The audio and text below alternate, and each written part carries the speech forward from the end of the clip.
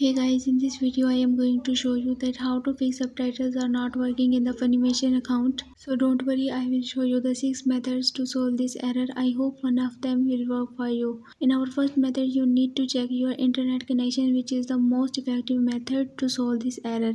You have to just make sure that your internet connection must be stable while using the Funimation. For this, try to change the network connection or restart the router by turning on the airplane mode for 2 to 3 minutes. Again, turn it off, restore your internet connection and restart your Funimation and hopefully your problem will be fixed. Now moving to our second method, you have to just click on the three dots at the very top right corner and then click on the settings.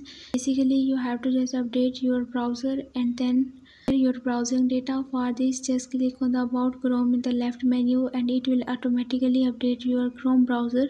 After completing this updating process you have to just click on the privacy and the security in the left menu and click on the clear browsing data after this you have to just select for the cookies and the other side data cached images and the files and the download history and the browsing history and in the time range select for all the time and then click on the clear data. After this wait for completing this process and reload your Funimation at this time. Hopefully your subtitles will work moving to our next method you need to just disable all of the extensions for this. Again click on the three dots at the top right and then click on the more tools and then click on the extensions. After this you have to just disable all of the extensions that are enabled in your browser. And now this time again reload your Funimation page and hopefully your problem will be fixed. Now moving to our next method which is to use a different browser to log into your Funimation account like Safari, Mozilla Firefox, Microsoft Edge or the Opera. By doing so, hopefully your problem will be fixed as sometimes by switching your browser, your problem may be fixed.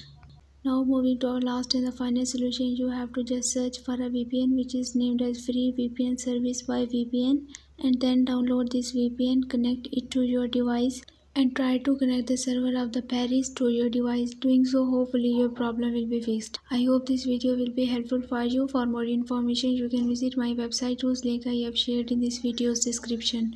Leave a like and a comment for this video and also subscribe my channel. Let me guide. Thanks for watching.